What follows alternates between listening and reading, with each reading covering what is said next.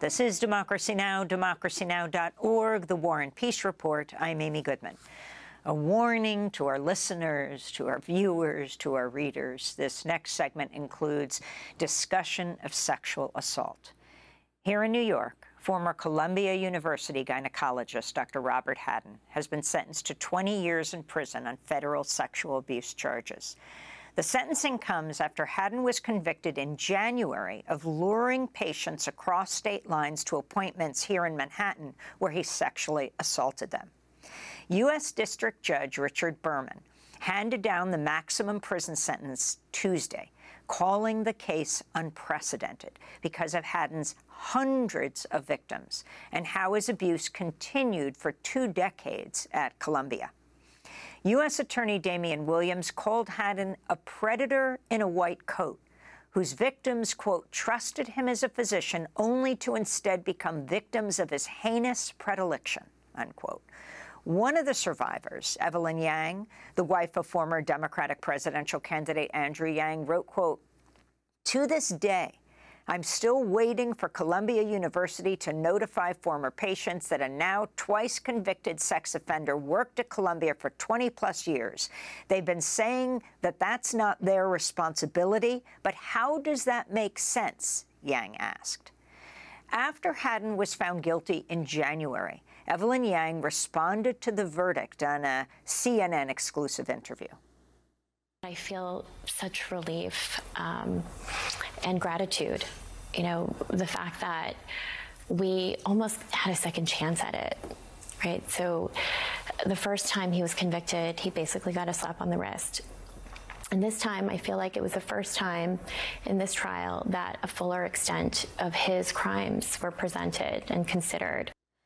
Lawyers representing survivors say Columbia University had a long history of ignoring Hadden's behavior in order to protect its reputation instead of acting in the victim's interests. So far, Columbia and New York Presbyterian Hospital paid out $71 million lawsuit in 2021 to 79 former patients and $165 million in 2022 to 147 former patients. In 2016, Hadden pleaded guilty in New York State court to abusing two women as part of what survivors called a slap-on-the-wrist plea deal with the then Manhattan District Attorney's Office, Cy Vance. Uh, Hadden lost his medical license but avoided prisoner probation. In response to advocacy from survivors, last May, New York State passed the Adult Survivors Act, which created a special one-year look-back window to allow individuals who were 18 or older when they were sexually assaulted in the state to file a lawsuit against the person who harmed them and or the negligent institution. The act was enacted November 24th last year. Now lawyers are filing another round of lawsuits under the New York Adult Survivors Act. We're joined right now by two guests who are former patients of Dr. Hadden. Laurie Maldonado attended the trial of former Columbia University um, Dr. Hadden and gave testimony in January before he was remanded. He was a gyneco she was a gynecology and then an obstetrics patient of Hadden's between 2003 and 2012. And Marissa Hoechstetter gave a victim impact statement during the federal trial of Hadden. In 2015, she reported Dr. Hadden to the Manhattan DA, Cy Vance, and became one of the first people to speak out against Hadden publicly. She was a patient of Hadden's from 2010 to 2012. We welcome you both to Democracy Now! Marissa, let's begin with you. Your response to the 20-year sentence that Hadden received and what you're pursuing now. Well, thank you so much for that introduction and for having us. Um, you know, it, it is an important milestone in a, in a years long quest for justice. Uh, Hadden is someone who has received special treatment and really continued to evade accountability for a very long time. Um, so it is certainly um, a sort of vindication and, and gratifying to, to see that sentence to be there. Um, but ultimately, uh, prison for someone like him does not get at the institutional accountability and does not repair the harm done to me and uh, many other people. But it is uh, it was really something incredible to witness. Mm.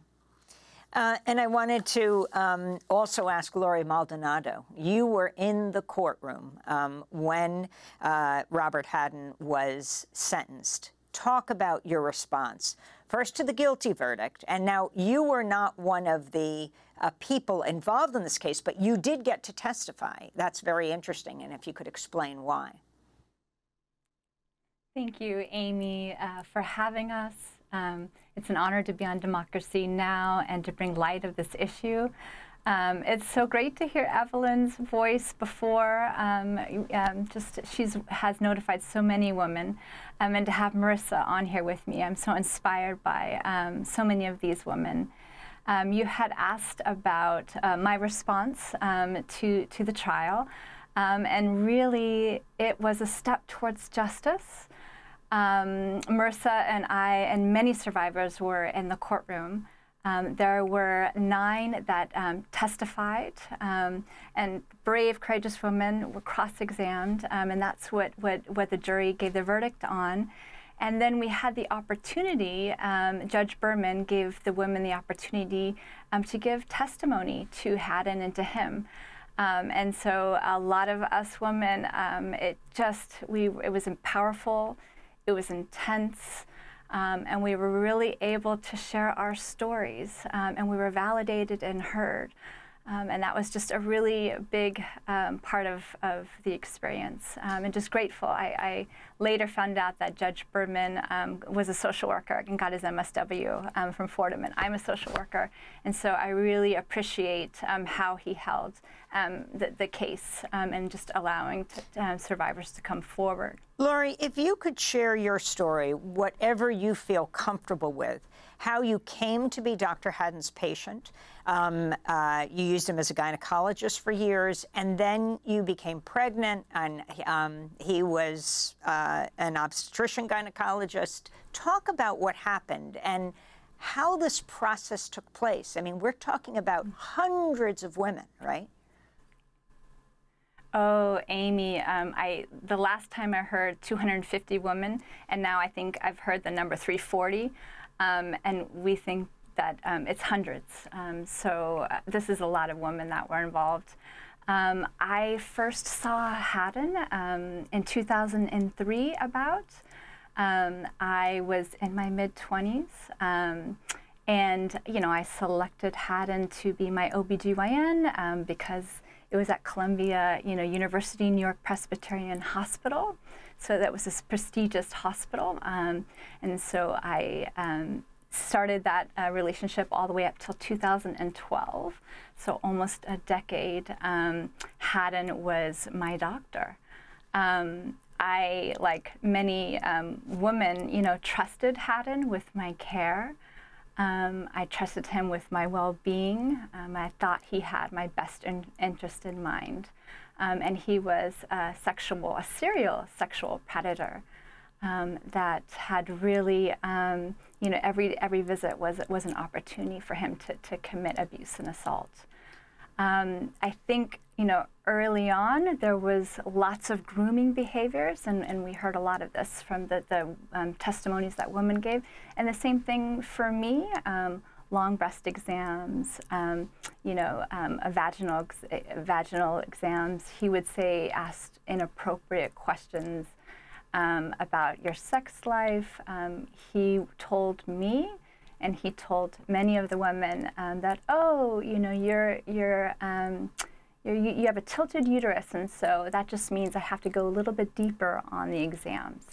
Um, so, and part of that, of me being young, of this being uh, my first OBGYN, so not knowing the standard of care, um, that was that I didn't realize um, that each each visit was um, was abuse.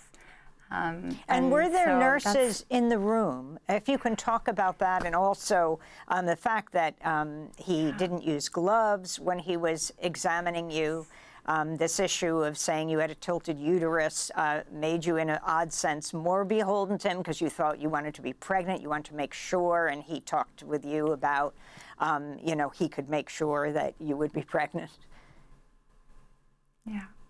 Uh, thank you for, for asking those questions. Um, you know, exactly. So I, there, um, there was never a nurse um, that I can recall present in the room, or they might have done the first, um, you know, kind of the, the vitals and then had left the room. Um, so you were often alone with him. Um, he would often, you know, uh, say, "Oh, you have lots of moles. I just want to make sure they're not cancerous." So it would be an opportunity for him, you know, to totally um, take you out of the gown. Um, and so there, there, there was a lot of, of that. Um, there's something to Amy of just, you know, really wanting to be pregnant.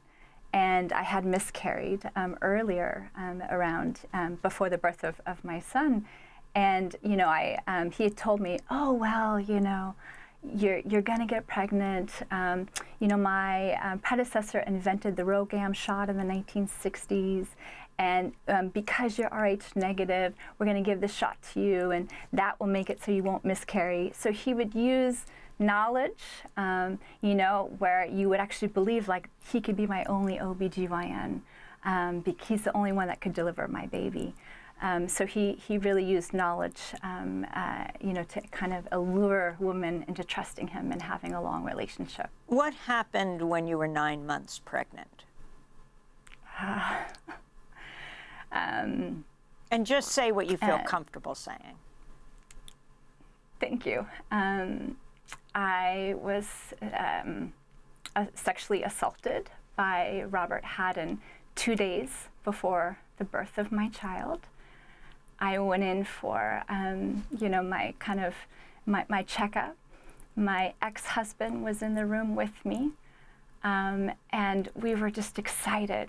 I remember that in the office room, my I went to the bathroom and my mucus plug had dropped, so I was really imminent away away from the birth, and I, we were really excited.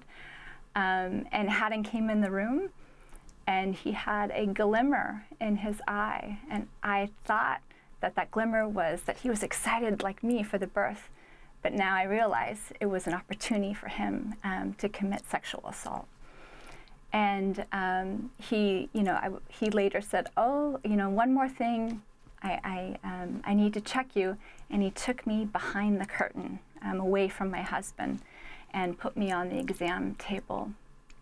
And what I thought was, you know, that he was going to check my cervix um, just to make sure that the baby was okay.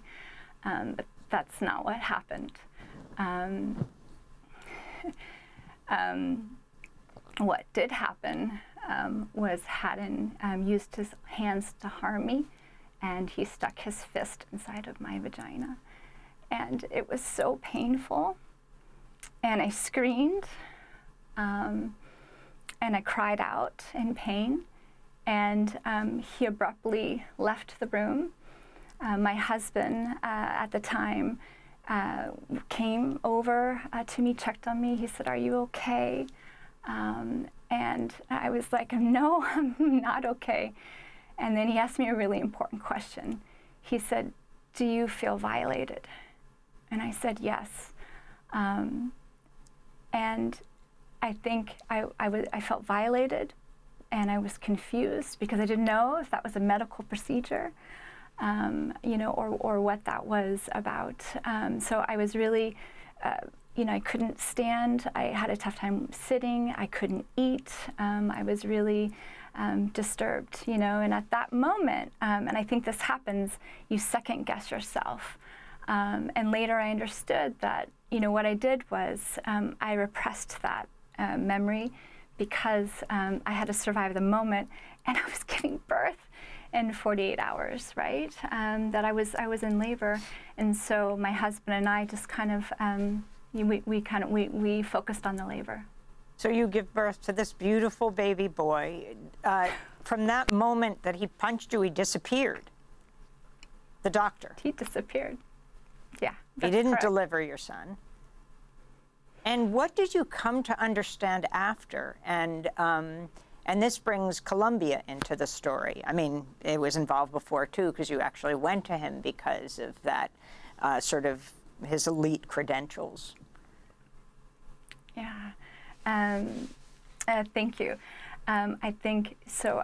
Um, I, the, you know, when I went to see him, so I, I went a few visits after um, to see Hadden, and I remember that um, I showed up and um, I was told that Hadden took a leave, and that was it, right? And I saw another doctor um, who just said, Hey, I, I noticed you were a long-time patient of Hadden. I wanted to make sure you're okay, right? Um, you know, so never, you know, um, never kind of saying that Hadden was arrested.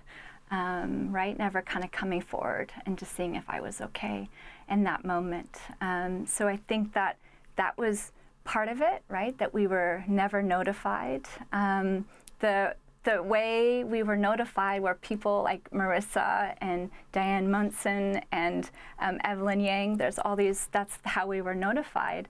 Um, when I first realized um, the scale, this was about when my son was um, a few years old, between two and three, I was on the subway and, um, you know, it was New York subway, commuting to work, and um, I saw the picture of Hadden that said, Gyno is a sicko right? And I had a panic attack on my way to work, realizing, you know, going back to that moment, realizing that was sexual assault, you know, realizing I had this, this doctor for such a long time, um, and, you know, just being in shock.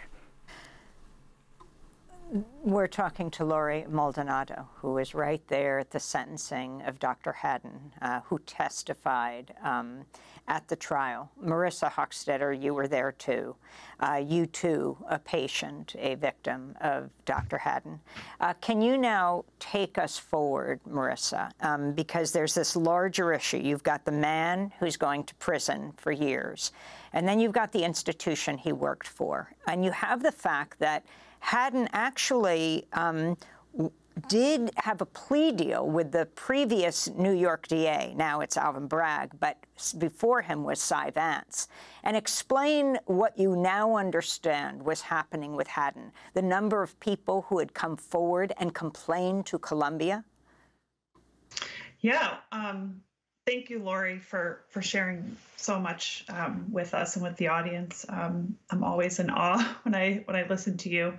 Um, we know that Hadden saw something like six to 8,000 patients in his 20 plus year career uh, at Columbia New York Presbyterian Hospital. Um, I firmly believe that he went into this profession with the intent to uh, use his position of power and privilege and, and abuse people. So I think as more continues to come out, uh, the institution has an obligation to at least inform patients of um, what they were exposed to.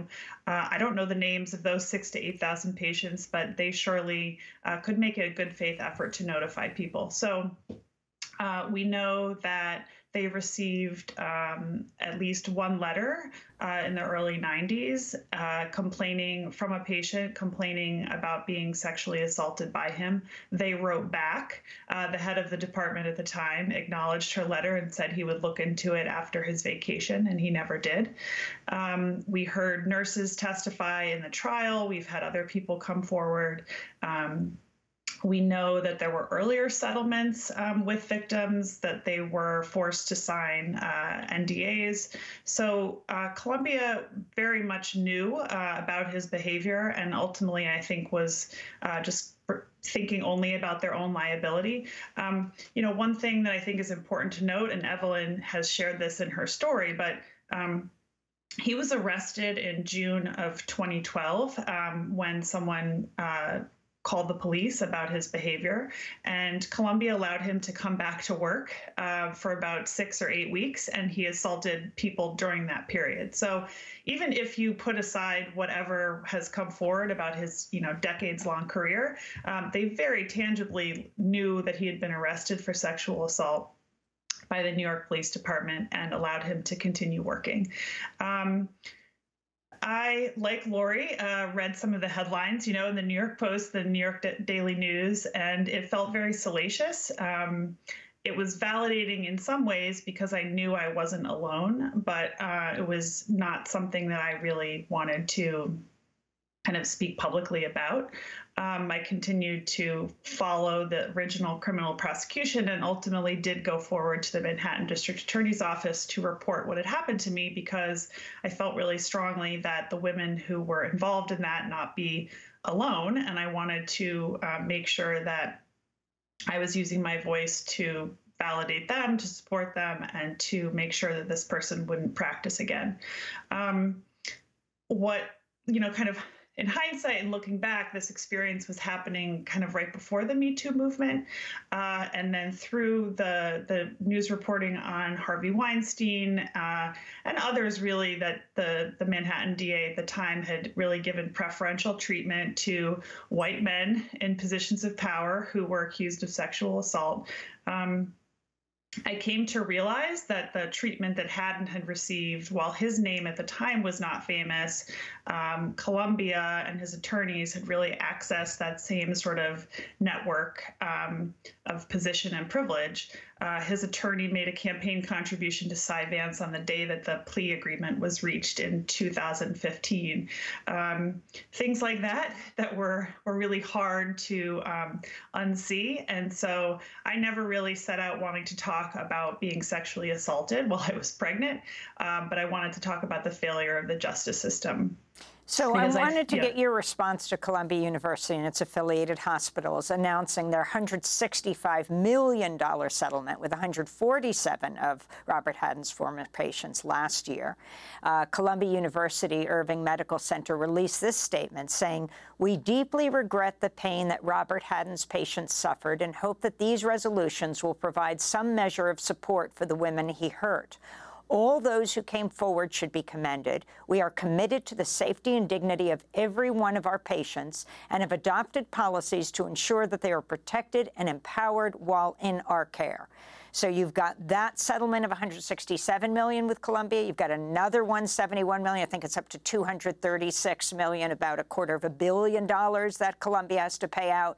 Um, are you part of those two settlements, Marissa?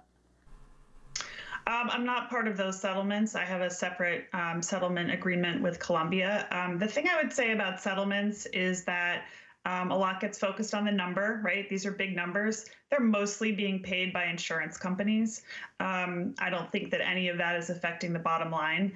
Um, we have uh, not a lot of options to offer recourse to survivors. So even that, I think, you know, the number could be justifiably even higher. And I think it should continue to go up as more people um, seek uh, a resolution um, with them. You know, that statement you read uh, really only came after years years of asking for some response from them. Um, before I spoke publicly, I asked for them to participate in a process whereby I could get a new birth certificate for my children that didn't have Robert Hadden's name, and they refused to speak to me. Um, their initial statements were much more distant from uh, what had happened. So one of the things I think through our public um, advocacy and really the passage of the Adult Survivors Act, which you you mentioned in the introduction, um, kind of forced their hand. Um, when you remove statutes of limitation, uh, from the equation. Um, they have to be much more responsible to people coming forward. And just to be um, clear, so, are yeah. there a number of women who are suing him now as a result of what you pushed through the uh, adult, the New York Adult Survivors Act that Kathy Hochul, the governor, signed last year, which, by the way, separately allowed E. Jean Carroll to go back and sue former President Trump under? Correct. I mean, it um, really the Adult Survivors Act was about putting the power back in the hands of survivors, all survivors. Um, of course, I was advocating for uh, women that I knew uh, assaulted by Hadden. Um, I, I, think the number of additional lawsuits we'll see is in the hundreds. Um, you know, people focus on the numbers. Um, uh, of people coming forward, I think it's important to also acknowledge that the Adult Survivors Act forces the institutions to come to the table earlier in mediation. Um, so whether or not something actually becomes filed and um, goes to to a lawsuit, you know, focusing on the number isn't always maybe the best measure, but uh, it gave a lot of leverage to a lot of survivors. And explain what you pushed through in the New York City Council and this issue with your twin daughters of not having Hadden's name on their beautiful birth certificate. Yeah, you know, it was really something uh, very sentimental and kind of emotional for me when I went to register them for kindergarten. And um, I pulled out this document that I needed to provide to the, the school district, and his name was there um, name of attendant at delivery. Uh, not all states have this. Uh, if I had, you know, given birth at home, uh, could have been my husband's name on there, could have been a, you know, taxi driver on the West Side Highway, but um, it was his name. And um, I felt like this gut punch that um, this person who had harmed me, and you know, I had a C-section. Um, I, I, think the most painful part often for me is that his hands cut open my body, reached in and took my children out. You know, he was the first person in the whole world to touch them, and that's not something I can change. And I just really did not want his name to remain on this document for them. I have to deal with the connection to him, but I wanted to, to end that for them. Um, we have yeah. 10 seconds. Long story short, um, it mostly because Columbia would not provide uh, additional information to the state. It needed to be uh, legislated, and we passed a law that allowed for if doctors have lost their medical license, you can have their name redacted from these official documents. Well, Marissa Hoechstetter and Laurie Maldonado, the survivors of a now convicted and sentenced OBGYN, thank you for joining us.